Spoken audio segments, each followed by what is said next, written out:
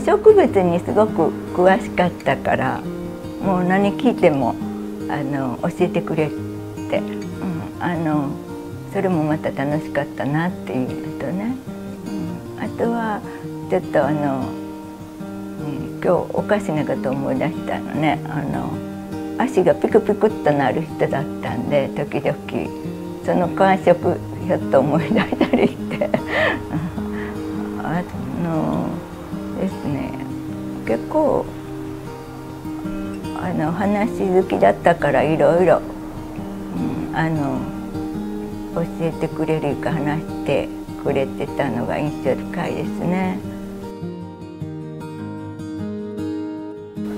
そうですね。それをちょっと考えたんだけど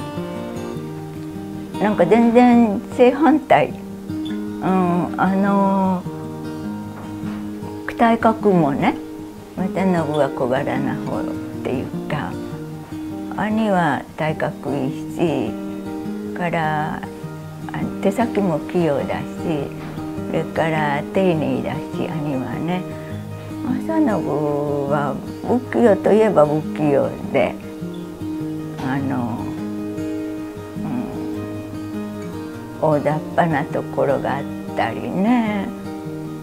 で思いつくまま動くようなところですけど兄はもっとあの丁寧に一つずつこなしていく積み重ねて努力するいうかってね、うん、最近でもあの兄が年取ってきた姿を見ると父にちょっと体型も似てきたかないう感じはあるんですけど。世界中回るよりこの一つの田んぼなら田んぼ畑なら畑の中でいろいろ見えてくる世界がありますよね。それがまたあの面白かったりするので、うん、で人がちょっと手加えたら何かがまた起きてそこで変化があったり、えいつも考えなくていい考えないでやってみたりまたあこうしてみたらって欲っぽいことで動いて手先が動いたりしてねそこで変化していくそこら辺りのまあ尽きない対話みたいなのが 旗から見たらねあのなんてことない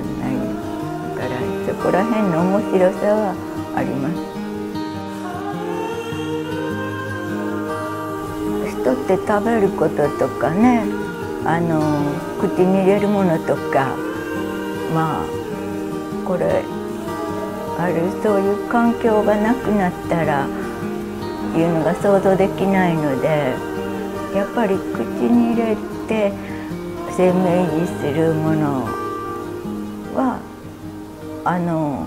やっぱ第一産業のこういう、ね、農家なり農業する人なりあの作る人がも続けられるように周りもなんか温かくこう見守ってほしいなっていうのが。